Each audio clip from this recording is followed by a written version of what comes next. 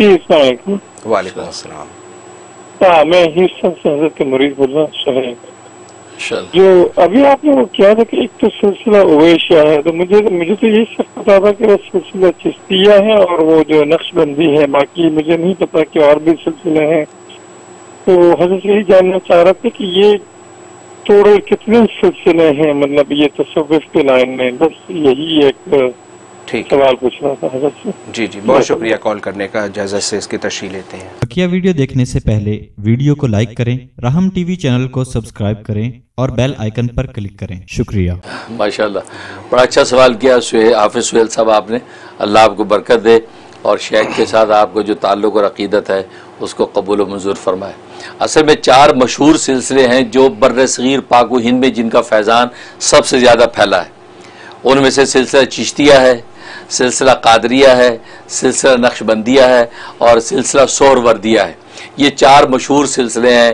یہ جو ہندو پاک میں خاص طور پہ چلتے ہیں اور ممالک کے اندر بھی ترکی، شام ان سب علاقوں میں بھی یہ سلسلے ہیں۔ تو یہ دیکھیں مشہور سلسلے یہاں پر ہی۔ اس کے علاوہ سلسلہ شاذلیہ ہے۔ ابو ابو الحسن شاذلی رحمۃ اللہ علیہ کا سلسلہ شاذلیہ ہے۔ سلسلہ رفائیہ ہے۔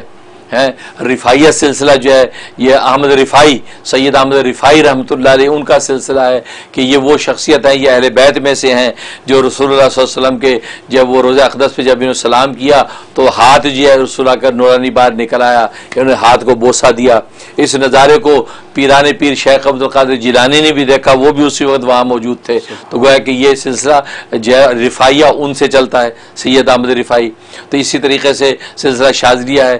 ایک اویسی ہے جس کی گفتگو ہو رہی ہے کہ جو جو اویس کرنی کا جس نوعیت رسول اللہ کے ساتھ تھی، بغیر فزیکلی واسطے کہ ایسے ہی اس سلسلے کے اندر مرید کی حضرت اویس کرنی کے ساتھ جو بغیر فزیکلی کنیکشن کے ایک روحانی کنیکشن ہوتا ہے۔ وہ میں نے بتایا، وہ خدا کے نصیب کے ساتھ ملتا ہے، ہر ایک اس کا دعویٰ نہیں کر سکتا۔